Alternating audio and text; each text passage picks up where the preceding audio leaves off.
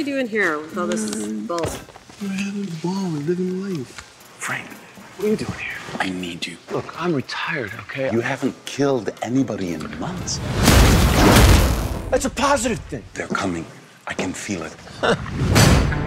96 hours ago, somebody said you and I took part in an operation called Nightshade.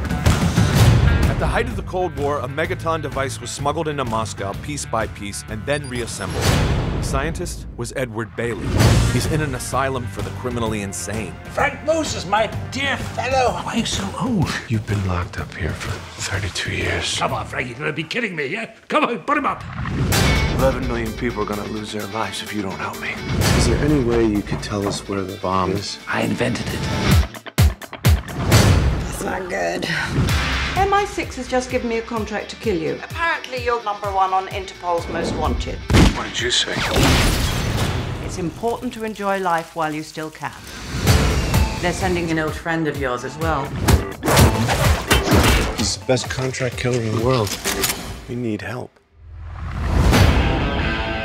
Hello, Frank. Who is she? Trouble. How are things? Yeah, Frank. How are things?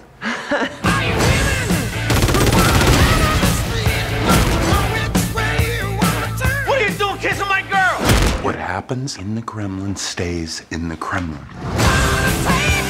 You gave her a gun. She has no idea what to do with this. I know exactly what to do with it. Pull the trigger! It'll be like the old days, Frank. I hate her so much. You're dead, man, Moses. I ain't dead yet.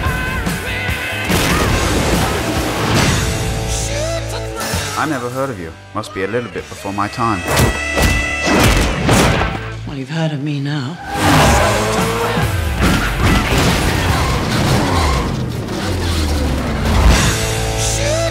Saving the world. Nastrovia! Nastrovia! Будем